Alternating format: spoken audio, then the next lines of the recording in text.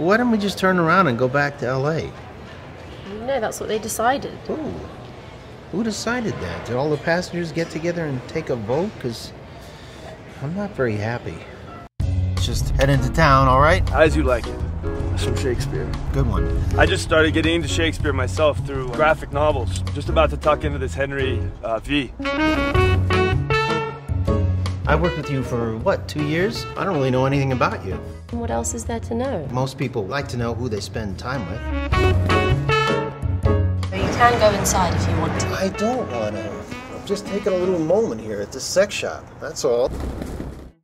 If you tell me about this little errand, I'll give you an earful. And start with that little thing that you keep pulling out of your wallet. Now, give it back. All right, okay, God okay. damn it.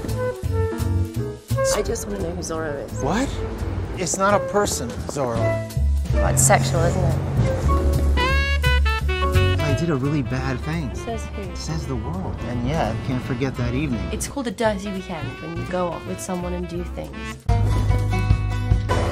You know a place called Zorro? The gay place. It's not, uh, it's not just a gay club, is it? Exclusively. cool.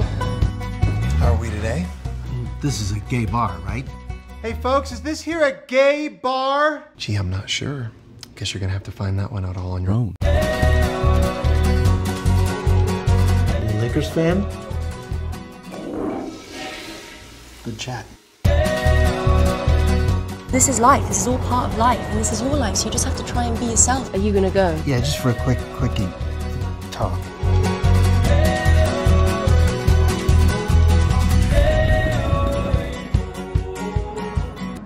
Hey.